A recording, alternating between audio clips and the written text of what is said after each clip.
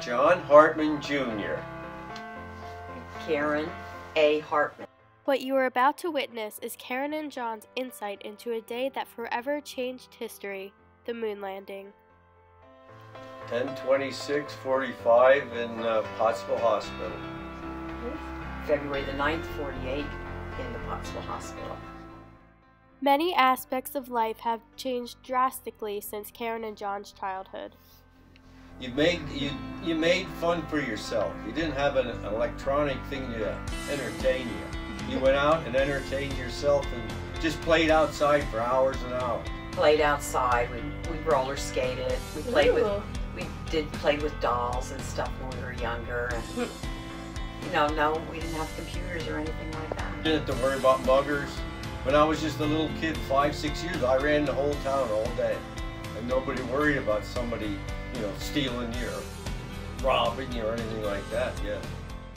Back then, an astronaut was not a popular dream job choice.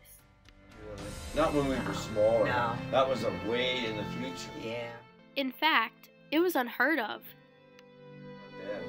Yeah. You didn't hear such a thing as that. That was No. 19 in the early This- 50s. yeah. Go to the movies and they used to have what was that movie they that they had on? It used it showed rocket ships and stuff. The Before the movies and stuff, they had like little clips, Yeah. like little series. During the 1960s, the United States was in a space race with the Soviet Union, and it looked like the United States was losing. Yeah, yeah, I knew that that was the they had Sputnik. That was the big thing. They were the first ones to get into space, and that was a big deal. And we wanted to be the first ones to get a, a man on the moon. On July 16, 1969, Apollo 11 launched into space. But it would never happen. Ignition sequence start. Six, five,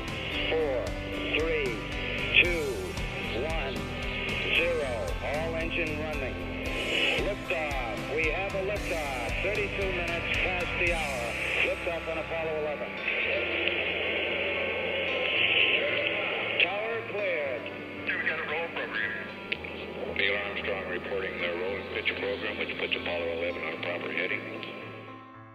Apollo 11 launched from Cape Canaveral, Florida, but where were John and Karen? Well, I was over in Thailand, so I didn't get all the news.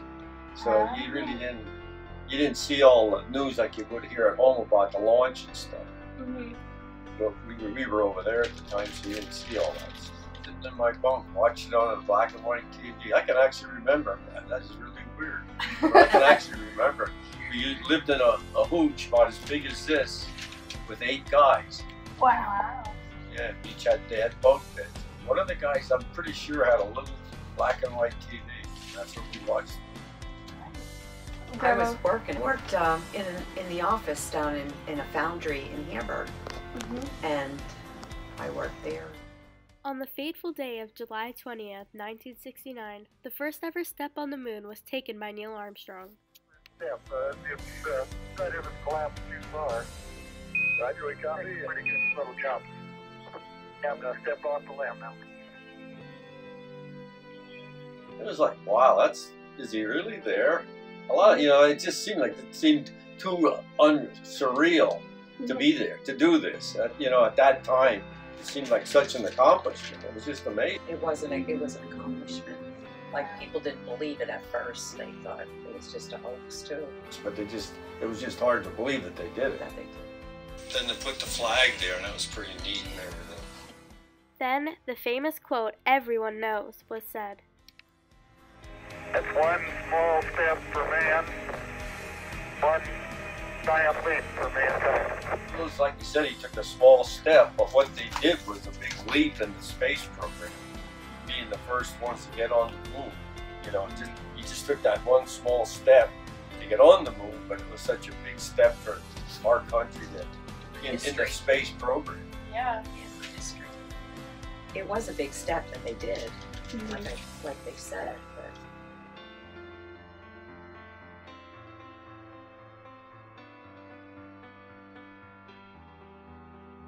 It amazed me when you think of what how they got these people up in the sky, got them down, and got them back up. That's quite a feat. All safely too. Yeah, without Yeah. anybody getting killed. Yeah. right. Some people believe that the moon landing was filmed in a Hollywood studio. It's just people. You always have those people that don't believe. Now, that'd be quite a hoax if you could pull that off. What about you, Grandma? Yeah. They, they, like I said, they thought it was a movie, Yeah. but you know, people didn't believe it. There's always non-believers on everything. Since Apollo 11, we haven't been to the moon again. Should we go back? No. No? Not either. Why not? You have better ways to spend our money. Well, the country here in itself, improve our country. There's so many things we can improve in our country and not worry about the moon. Some believe that due to climate change, our planet will soon become inhabitable and or destroy itself. Crock a bull baloney. Yeah. Why? I just don't believe in that. I'm I not. don't either. Okay. It's been here this long. I don't think it's going to leave right away. Disasters before we had the ice age. True. It wiped the whole everything out. And we're not. Because of climate change, some people think that we should move to Mars and inhabit it. I don't know. I wouldn't want to live there. I, I don't know. I I don't know how they could. There's the They way it's talk not about it. suitable for living. And we're not in control. God's in control. Mhm. So whatever He has in mind for us is what's going to be. Mhm. So I don't think we should keep probing.